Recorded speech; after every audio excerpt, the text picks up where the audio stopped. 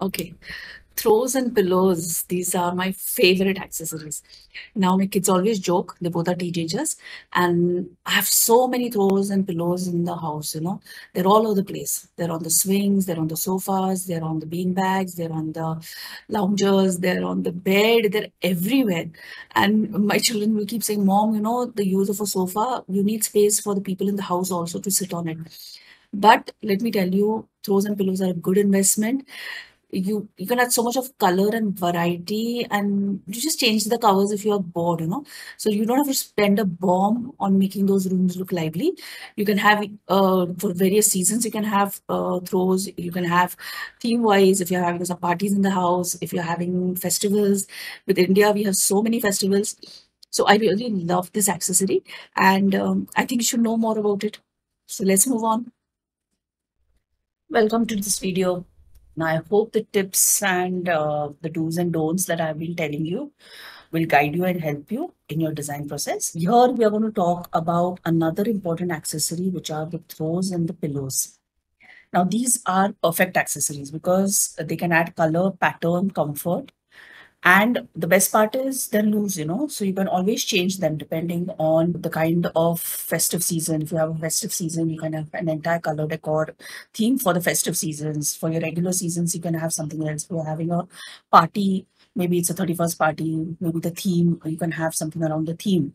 So it can be easily changed and switched. So that is why I call this uh, the perfect accessory. There are eight things that you need to keep in mind when you're looking at the perfect way to put in throws. You have to think of the color, the pattern, the shape, the size, the texture, then the trims, the embellishments, the embellishments, the inserts. So these are uh, what is actually going to be uh, the pointers for you when you are making that purchase or when you're deciding to put in or add in that color into your interiors through your throws. Now, the first thing you have to think of is the color. So what is the uh, scheme of the room?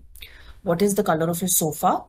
Whether you want your particular accent pillows to complement the sofa or the chair or you want them to in the sense you want them to blend in or you want them to stand out? There are two ways of doing it. So you can go complete contrast because you want the pillows and throws to stand out from the piece of furniture or you want something subtle that goes along with the language. You don't want it to go into the contrast. So you can decide. So that will decide the colors that you will be adding. The next is the patterns. So don't be afraid to go in for bold patterns which really are very different from what you're actually doing in the decor. a solid pillow gives a nice tone. It softens it down, but the patterns really bring out the interest. Also remember that the patterns also have to go with each other, you know. It should not be so messy and busy that it looks undone. Putting in patterned pillows needs to be a well thought of process. Then the shape. There are lots of shapes available in the market, some very cute shapes also. You can decide the standard shapes are the squares, the rectangles. Then you have the box type, you have the bolsters, and you have the round pillows. So depending on the functionality of the space, whether your sofa is for seating, talking, or whether it's a more relaxing kind of a environment, uh, you know, you lie down and watching TV or something like that. So depending on the function or the various functions that are going to take place, you can also think of the sizes that will be comfortable for the client. So you can mix and match sizes not necessary you have to have standard way of putting in these shapes. The size. The sizes also, there are various sizes available. The only common mistake that you can make maybe is having a very tiny pillow in a very big space or maybe an oversized pillow in a side chair, which can be overwhelming and maybe uncomfortable also. So putting in the pillows should be something that is going to make the seating more comfortable. You have to remember that it is not just to enhance the look of the space. It also has to be comfortable. So whether it's a three-seater sofa or a king-size bed, how the pillow arrangement is going to be, how many pillows and how are they going to uh, be arranged. Usually, usually the back pillows have to be symmetrical or maybe the first last two layers need to be symmetrical. Stuff in the front can be a little more unsymmetrical. The throws also have to uh, go with the entire language of what you're putting in the pillows. So keep this in mind when you're doing your bedrooms. Now, there are something else besides these three, size, shape, color, and pattern. Uh, we term them as textures, trims, embellishments, and inserts. Now, texture is something that is going to create, one, the feel of the pillow. So when you're putting your hand on the pillow or when you are keeping the pillow as a backrest or you're just lying, put your head, putting your head on the pillow, the feel and the texture is what is going to make it feel comfortable or warm. Also, the texture is going to add a 3D element, which is going to create more depth for whatever uh, mix and match that you're doing. You need to think of what textures you want to add in. There are loads of textures in the market. Go through that. The trim is a great way to decorate. So if you want to add some, give it a more decorative look, trims are a good way of doing it because you can also change. So most common trims are the piping that you do on the sides. So various designs in that are available, various patterns are available. You can decide. Then you have the rope trim or you have the traditional trimming line that you have. You can also have these pom-poms. So decide like what kind of a look you want to create. Then embellishments. So embellishments are the ribbons or the brooches or the sequences that you have on pillows. Uh, they also enhance the look of the pillow. Now, embellishments can be something that you're also adding in seasonally, in the sense fe during festive seasons only maybe. So if you have pillows with mirrors and sequences and brooches, they look nice during the festive season, especially Indian festivals are very bright and colorful.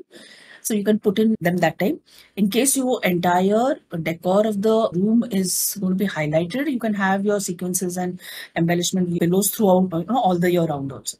So it also depends on how the client is, the taste of the. And then you have the inserts. Inserts are one is your pillow cover and the second is the actual pillow, which we call as the insert. To give a more puffy and full look to the pillow, usually the cover size and the insert size, there is a difference of one to two inches. You know? So if you're looking at a finished pillow of 20 size, the insert should be 22, a little bigger so that it gives you a very full and puffy because you don't want loose pillows. Now, if you see this pillow that's tight and puffy, you know, sometimes you feel if the pillow cover is big and the pillow inside is small, the insert is small, it gives loose ends. It does not look puffed and finished. So these are some common things. If it's a 20 size cover, buy the insert one or two inches bigger. For the horizontal pieces, you can stick to the same size also for the circular and the horizontal or the rectangle. Now, some patterns or some rules that you can do when you're arranging pillows on a sofa or a bed. You may or may not follow these rules. It's just something so that you can start thinking.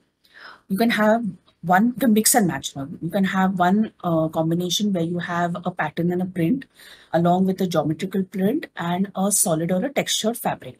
So one pillow has a print, one has some geometrical pattern and one could be a combination of solid colors which are complementing the print or the basic shade in the print and the geometry. That could be one way of doing it. The second way could be you have the main color, one accent color that you added and a neutral.